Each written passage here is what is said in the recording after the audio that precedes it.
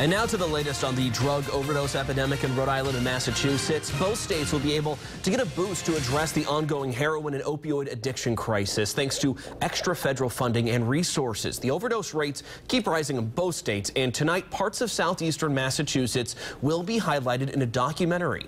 Eyewitness News reporter Steph Machado is live in the control room with more. The federal budget passed by Congress before the holidays includes millions of dollars to help states battle addiction.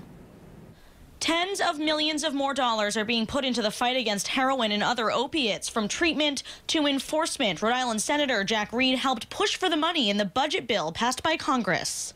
Treatment, rehabilitation, and support. Senator Reed says states like Rhode Island and Massachusetts can apply for the federal grants based on their unique local needs. For example, to equip more police departments with naloxone, the overdose reversal drug.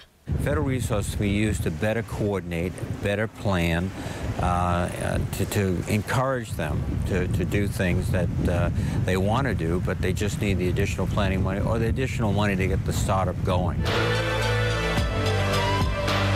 Tonight on HBO, a documentary is scheduled to air about heroin abuse on Cape Cod.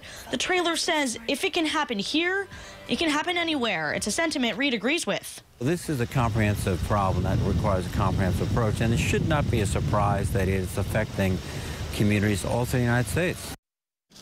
And another example of how this federal funding is helping Rhode Island. Last week, Brown University and Rhode Island Hospital were awarded grants for substance abuse screening and intervention. I'm Steph Machado, Eyewitness News.